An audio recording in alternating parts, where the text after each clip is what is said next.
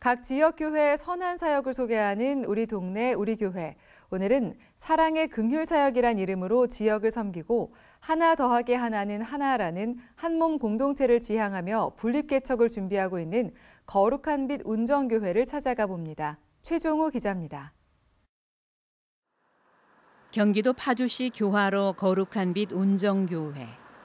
거룩한 빛 운정교회는 거룩한 빛 광성교회가 22번째 분립 개척한 교회로 운정 지역의 선교적 사명을 감당하고 있습니다. 사역의 비전은 모교회인 거룩한 빛 광성교회의 캐치프레이즈를 이어가는 것. 개혁적인 교회의 흐름을 그대로 어, 이어받고 진행을 하고 있습니다. 그것은 3대 목표, 5대 비전이라고 이야기를 하고요. 또 3대 목표가 섬기는 교회, 인재를 양성하는 교회, 상식이 통하는 교회라는 이제 큰 카테고리, 아, 그 목표를 가지고 진행을 좀 하고 있습니다. 목표 가운데 무엇보다도 취약계층 섬김에 주력하고 있습니다. 독거노인이나 또 청년들처럼 어, 자리를 잡지 못한 분들 또 아직 어려운 분들이 참 많이 있습니다. 그분들 어, 말하지 못할 그런 어려움들을 조용히 덮는 일들을 하는 것이 아, 우리 교회가 하고 있는 가장 큰 사역 가운데 하나입니다. 매일 주님과 잔치하는 교회. 소외된 이웃들이 매일 주님이 초청하는 잔치에 함께하기 위해 사랑의 긍휼 사역을 하고 있습니다. 사랑의 긍휼 사역은 성도들의 제보로 이루어집니다. 제보를 통해서 그 어려운 이웃을 제보를 받고 그 제보가 되면 굿네이버스의 전문 복지사가 방문을 해서 그 방문했던 그 사정들을 뭐 파악을 해서 어떤 어려움이 있는지 그 사항들을 저희들한테 리포트를 해주시면 어, 교회에서 저희 심의위원회를 열어서 목사님, 장로님, 저희 위원회 임원들 같이 이렇게 모여서 어, 어떻게 좀 도와드릴 수 있는지에 대해서 구체적으로 좀 방안을 좀 마련하고 사랑의 긍휼 사역으로 후원하고 있는 파주시 금촌동 금촌고시원. 이곳엔 노숙인 등 복지 사각지대에 놓인 40여 명이 살고 있습니다. 사랑의 긍휼 사역팀은 이들에게 반찬 봉사, 청소, 빨래까지 아낌없는 사랑을 베풀고 있습니다. 오윤환 원장은 거룩한 빛 운정교회 사역팀에 감사한 마음을 전합니다.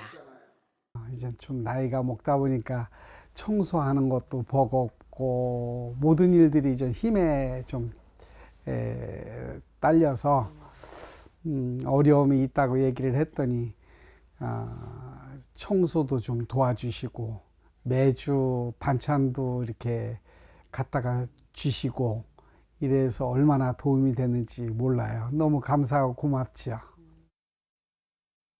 거룩한 빛 운정교회는 또 노인 일자리 전담 기관인 파주 시니어 클럽에 연간 3천만 원의 예산을 지원하고 있습니다.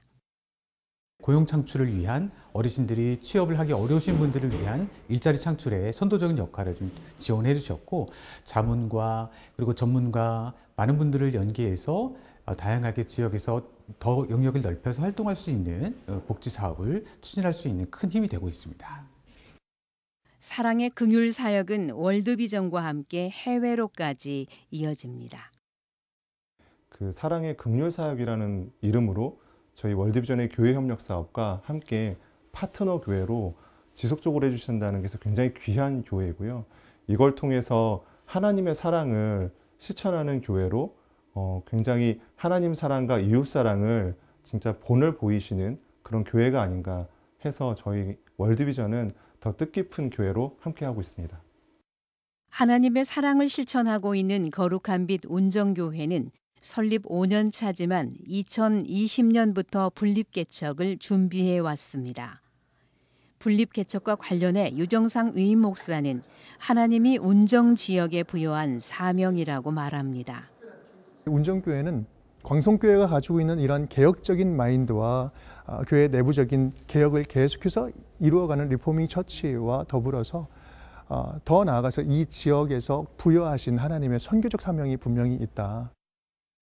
분립개척은 성도들을 대상으로 공청회 등의 공론화 과정을 거쳐 추진 방안을 마련하고 본격적으로 진행되고 있습니다.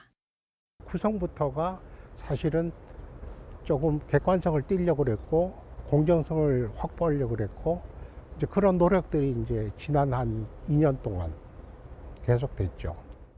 성도들의 마음을 배려하는 거, 그러면서 공정성을 잃지 않는 거, 이제 그런 가운데 진행이 됐는데 공정성을 가장 중요하게 생각한 거룩한 빛 운정교회는 골로새서 3장 17절 말씀을 토대로 뉴스레터를 통해 분립개척의 진행 과정을 공유하고 있습니다. 올해 12월 창립 5주년 기념 분립개척 선포를 계획하고 있는 거룩한 빛 운정교회. 거룩한 빛 운정교회는 지역 섬김과 함께 개혁과 선교하는 교회를 지향하며 나아가고 있습니다. CBS 뉴스 최종우입니다.